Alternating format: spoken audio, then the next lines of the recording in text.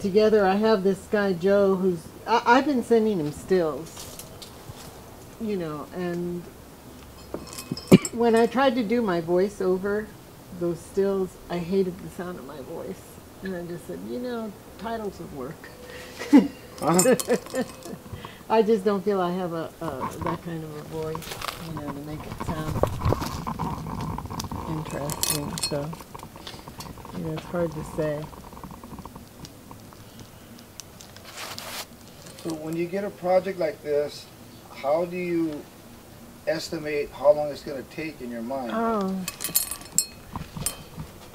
Well, you know, I, I kind of, well, I have been trying to transition into doing uh, mosaic over ceramic, and I've been doing some research, Mhm. and I explored this other stuff called uh, hypertufa or tufa, which is a form of cement, but it's mixed with um, perlite and sphagnum.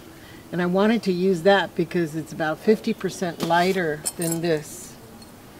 But um, I, my research told me, or my friend uh, Lee Adams, who does a lot of mosaicing, she's my, my mosaic godmother.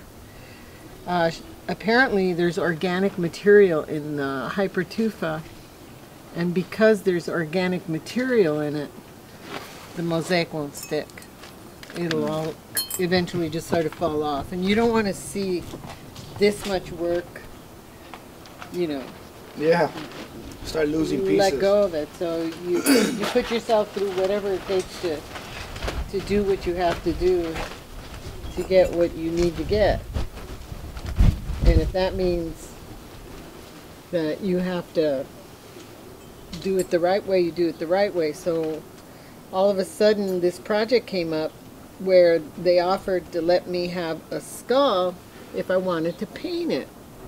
I said, I want a skull, but I don't want to paint it. I want a mosaic over it. And they said, Oh yeah, yeah, you can mosaic over it. It's it's really strong.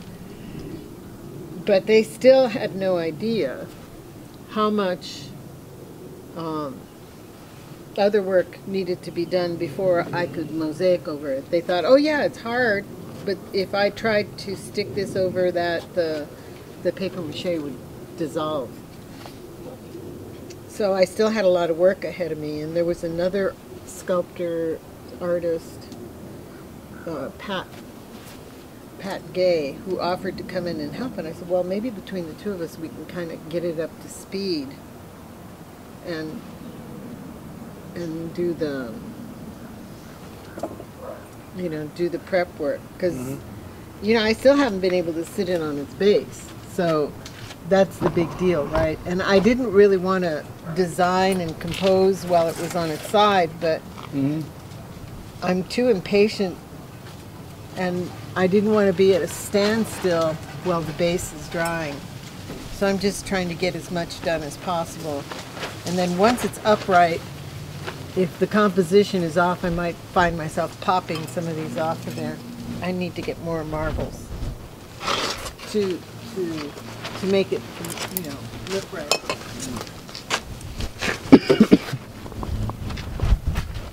So that's kind of the way it works. I've never done this before, really. Myself, mosaic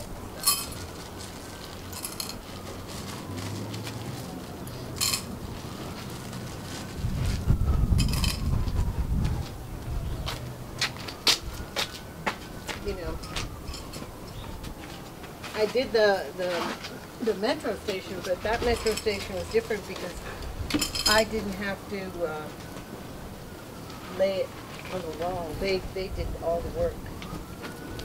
And that's, a- that was a huge weight off my shoulders.